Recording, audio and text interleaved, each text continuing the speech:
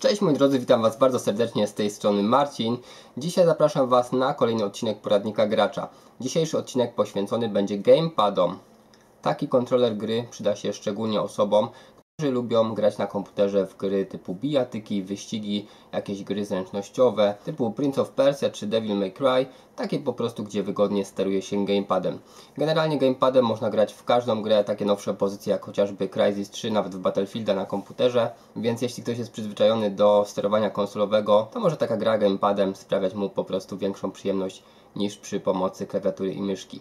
Ja osobiście jestem zdania, że na komputerze w takie strzelanki nic nie zastąpi klawiatury i myszki, natomiast są różne upodobania, dlatego też w dzisiejszym poradniku przedstawię Wam kilkanaście gamepadów w różnych kategoriach cenowych. Oczywiście są to tylko przykładowe urządzenia, według mnie warte swojej ceny, a w sklepach znajdziecie dużo więcej ciekawych gamepadów. Co należy wiedzieć na początek? Gamepady dzielą się na bezprzewodowe oraz przewodowe.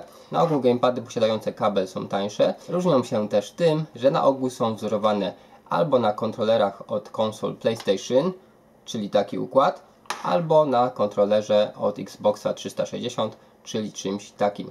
Według mnie wygodniejszym, ale oczywiście oba typy kontrolerów mają tyle samo zwolenników, ile przeciwników, dlatego wybór wygodniejszego urządzenia zostawiam już Wam.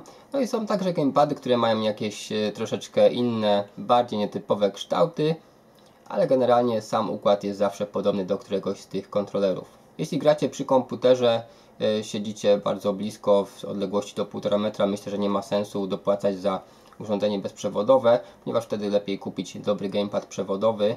E, natomiast sytuacja zmienia się, jeśli macie w domu i komputer, i konsolę, przykład PlayStation 2 czy 3 lub Xboxa. Wtedy zakup jednego porządnego, ale za to droższego kontrolera może być bardzo opłacalny, ponieważ będziemy go mogli używać przy grach PC-owych, a jeśli na przykład odwiedzą nas znajomi, wtedy sobie bierzemy ten kontroler do konsoli i używamy jako drugiego czy tam trzeciego kontrolera. Więc wydajemy raz, a możemy użytkować i przy konsoli, i przy komputerze. Część z gamepadów, które Wam pokażę, współpracuje z PlayStation 2, z PlayStation 3, jeden gamepad także z Xboxem, natomiast będzie też kilka takich urządzeń, które są wyłącznie do komputerów PC. Na co jeszcze należy zwrócić uwagę? W zależności od tego, jaką kwotę chcecie wydać, przede wszystkim taki gamepad musi być solidnie wykonany z dobrych materiałów, musi być wygodny i co bardzo ważne, musi być funkcjonalny, czyli najlepiej, żeby miał analogowe drążki, analogowe triggery i żeby to wszystko chodziło jakoś w miarę precyzyjnie i bezawaryjnie. Oczywiście im gamepad tańszy, tym jakość wykonania jest gorsza i żywotność tego gamepadu też może być krótsza. Dlatego w tych przedziałach cenowych, które ja Wam pokażę, ja osobiście polecam gamepady za przynajmniej 80-90 zł, a najlepsza jest oczywiście ta najwyższa kategoria cenowa, gdzie gamepady zaczynają się od 100 zł, a kończą na około 200. Też należy wziąć pod uwagę to, jak często gramy przy pomocy gamepada na komputerze. Jeśli gramy raz kiedyś, to wystarczy nam w zupełności model za jakieś 50 zł. Natomiast jeśli gramy często, wtedy już naprawdę nie ma co oszczędzać. Ok, tytułem wstępu myślę, że to by było wszystko. Zapraszam Was teraz na konkretne propozycje. Natek Genesis P33 Gamepad kosztujący jedynie 30 zł. Kompatybilny z komputerami PC. Łączy się z komputerem za pomocą kabla zakończonego wtykiem USB. Posiada silniczki wibracyjne i sterowniki. Cztery cyfrowe przyciski tylne ułatwiają grę. Jest także ośmiokierunkowy D-pad. Łącznie gamepad posiada 13 przycisków. Tracer Green Arrow Gamepad od firmy Tracer kosztuje niecałe 40 zł. Kompatybilny jest z komputerem PC i konsolami PlayStation 2 i PlayStation 3. Jest podłączany przewodowo, natomiast jest dość solidnie wykonany i posiada na bokach antypoślizgowe elementy poprawiające chwyt i komfort gry. Posiada 17 przycisków, wibracje oraz czterokierunkowy D-pad. Speedlink Thunderstrike Przewodowy gamepad do komputera PC. Kosztuje około 40 zł. Wykonany jest dość solidnie, wzorowany na kontrolerze PlayStation nie wymaga sterowników i kompatybilny jest z Direct Input. Posiada przełączniki trybu analogowego i cyfrowego, a także przycisk Turbo i Auto Fire.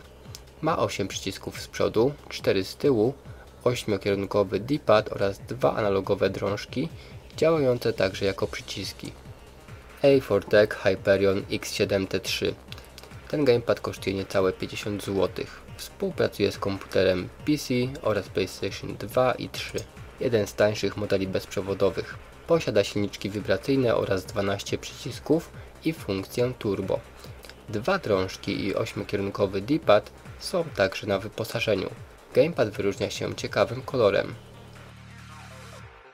Speedlink Torit. Świetny bezprzewodowy gamepad kosztujący około 90 zł. Kompatybilny z PC i PlayStation 3. Testowałem go niedawno i muszę powiedzieć, że wywarł na mnie pozytywne wrażenie. Jest wygodny i w miarę dokładny. Dostępny jest w kilku kolorach, posiada wibracje i działa w dwóch trybach. Dzięki czemu kompatybilny będzie z każdą grą na PC. Ogromną zaletą są precyzyjne analogowe drążki i triggery. Gamepad posiada funkcję turbo i bez problemu pracuje w zasięgu do 8 metrów od odbiornika USB. Hamai Rage Essential Wireless Ciekawy gamepad niemieckiego producenta, kosztujący niecałe 100 zł. Kompatybilny jest z komputerem PC i komunikuje się z nim bezprzewodowo. Zaślają go trzy baterie typu AAA. Gamepad posiada w sumie 12 przycisków, analogowe drążki i wibracje. Urządzenie jest świetnym uzupełnieniem serii Hama i Rage. Speedlink Xeox Pro Często wybierany przez graczy gamepad występujący w wersji bezprzewodowej i przewodowej. Za wersję bez kabla zapłacimy niecałe 100 zł. Przewodowa będzie jakieś 35 zł tańsza. Gamepad jest bardzo solidnie wykonany, podobnie jak Torit posiada analogowe drążki i triggery. Ma również wbudowaną baterię i silniczki wibracyjne. Kompatybilny jest jedynie z komputerami PC, jednak współpracuje nawet z grami sprzed wielu lat. Logitech F310 bardzo dobrej jakości gamepad przewodowy. Kosztuje niecałe 100 zł. Bez problemu obsłuży nowe, jak i stare gry.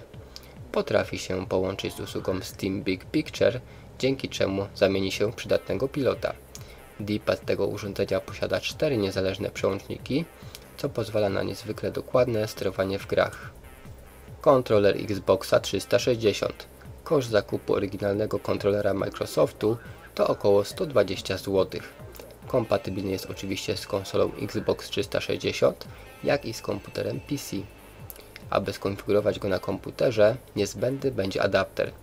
Koszt całości wzrasta wtedy do około 160 zł. Jednak moim zdaniem gamepad od Xboxa 360 wciąż nie ma konkurencji i pozostaje niedoścignionym ideałem. Jest niezwykle precyzyjny i niezawodny. Podłączyć go możemy bezprzewodowo, jak i poprzez kabel.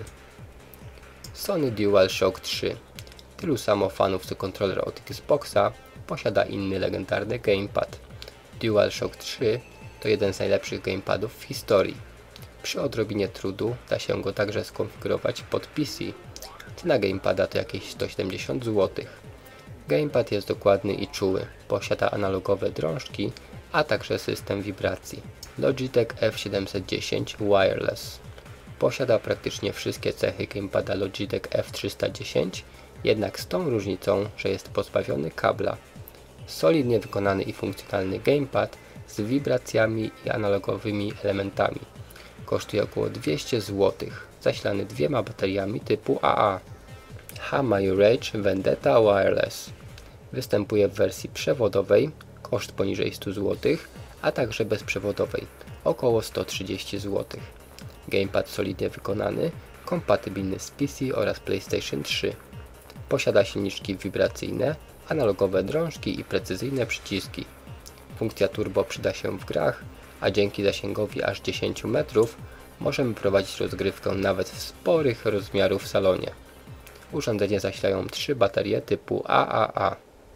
Jak widzicie, w każdej kategorii cenowej można znaleźć coś ciekawego, jakieś urządzenie warte swojej ceny, więc myślę, że każdy mógł znaleźć coś dla siebie. Oczywiście urządzenia, które Wam przedstawiłem, to tylko jedne z wielu dobrych gamepadów na rynku. To są po prostu moje propozycje. Oczywiście możecie w sklepach znaleźć także inne ciekawe modele w dobrej cenie, w promocjach, dobrze wykonane, ale pamiętajcie, żeby zawsze wybierać pod swoje preferencje, czyli odpowiedni układ gamepada, odpowiednia wygoda, jakość wykonania oraz też patrzeć pod kątem stosunku jakości do ceny. Jeśli chcecie gamepadem grać naprawdę często naprawdę dużo i na komputerze i na konsoli nie warto oszczędzać tych 20-30 zł, dopłacić sobie i kupić naprawdę sprzęt z wyższej półki. Będzie to zupełnie inny komfort grania, zupełnie inna jakość wykonania i co za tym idzie też bezawaryjność sprzętu. Dziękuję Wam dzisiaj za obejrzenie tego poradnika, zapraszam także na inne filmy i pozdrawiam Was, cześć!